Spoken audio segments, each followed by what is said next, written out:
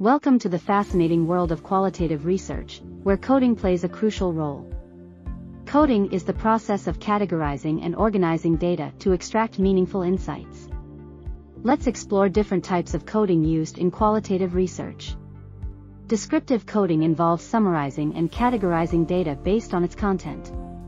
In vivo coding captures participants' exact words or phrases to preserve their unique perspectives. Process coding focuses on identifying and analyzing the steps or stages in a process.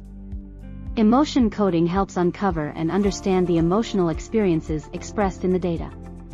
Value coding involves identifying and interpreting the underlying values and beliefs in the data.